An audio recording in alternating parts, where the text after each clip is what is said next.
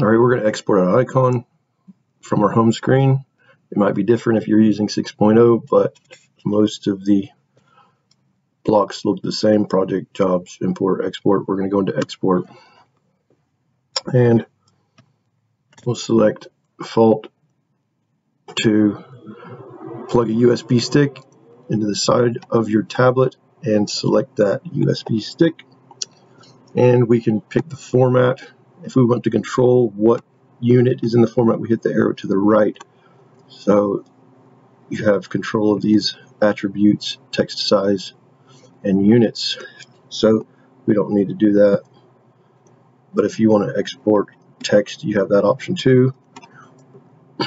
Make sure you have a comma field separator, northing, easting, height. That's typically what people use, but some people go the other way. If you wanted to change that, you could. Uh, and again, you can change the unit.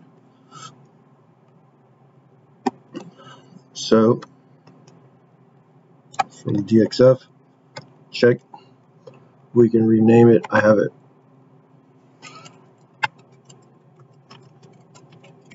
call it whatever you want. Check. Check.